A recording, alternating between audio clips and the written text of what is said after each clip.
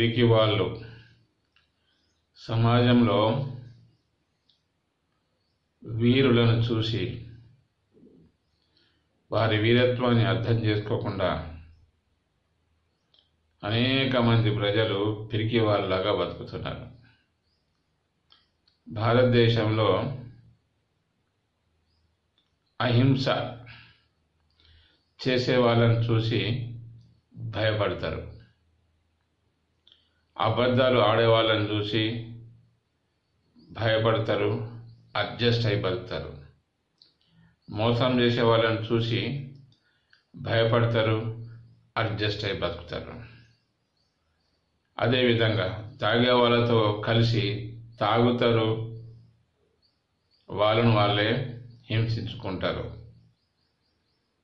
కపటంతో బతికే వాళ్ళతో కపటుల్లాగా బతుకుతున్నారు. ఇలా బ్రతికే వాళ్ళంతా పిరికి వాళ్ళు ఎంత పిరికి వాళ్ళంటే మన దేశంలోనే భక్త ప్రహ్లాదుని చూసినారు. భక్త ప్రహ్లాదుడు తండ్రికి భయపడలేదు రాక్షసులకు భయపడలేదు. హింసించే వాళ్ళకు భయపడలేదు హింసకు భయపడలేదు. అదేవిధంగా భగత్ సింగ్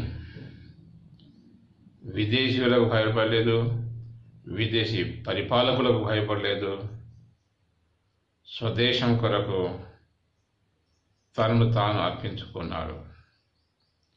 సత్యహరిచంద్రుడు అబద్ధాలు ఆడేవాళ్ళతో చెలిమి చేయలేదు అబద్ధం ఆడలేదు. అబద్ధం ఆడేవాళ్ళు అడుగు అడుగున నశించిపోతుంటే చూస్తున్నాడు.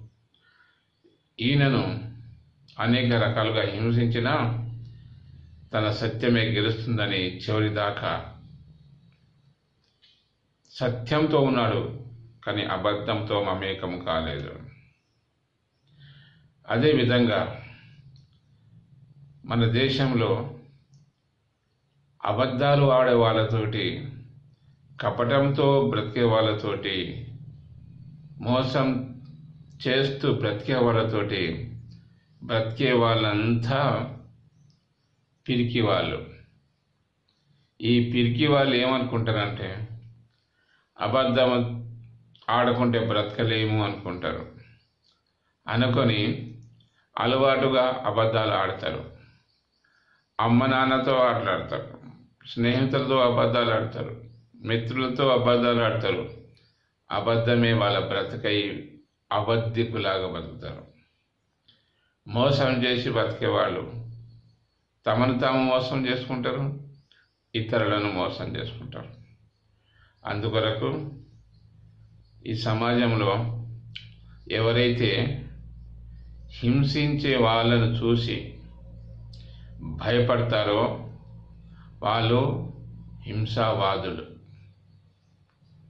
అహింస పరమో ధర్మం అని గాంధీ మహాత్ముడు పాటించాడు.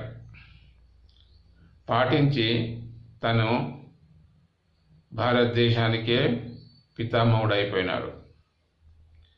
అదేవిధంగా తను చేసేది ధర్మము. ఆ ధర్మాన్ని నిలబెట్టడం కొరకు డాక్టర్ బిఆర్ అంబేద్కర్ నిరంతరం పోరాడాడు.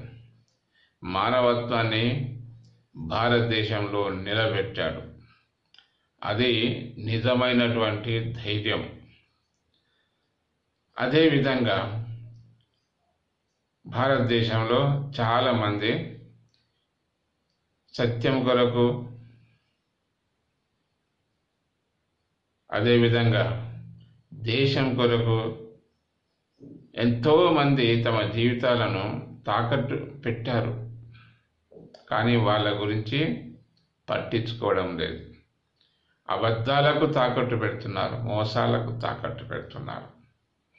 అందువలన భారతదేశము వెనుకబడిపోయింది.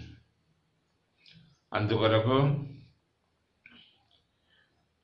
భక్త ప్రహ్లాదుని చూసండి. భగత్ సింగ్ని చూడండి సత్య హరిశ్చంద్రని చూడండి సత్యంతో జీవించే వారిని చూడండి. సత్యమే జీవితం అనుకోండి.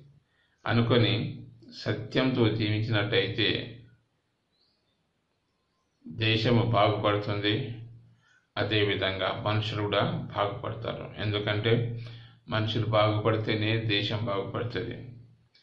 ఎంతకాలం అయితే అబద్ధాలతో మోసాలతో కపటంతో బ్రతుకుతారో ఆ దేశం అభివృద్ధి చెందదు. ఎందుకంటే ఇందులో మోసము ఎంత భయంకరంగా ఉంటుందంటే తమను తాము మోసం చేసుకుంటారు ఇతరులను కూడా మోసం చేస్తారు. కాబట్టి ఈ పిరికితనంతో బ్రతకకుండా ధైర్యంతో సాహసంతో బ్రతికినట్టయితే అది నిజమైన జీవితం అవుతుంది.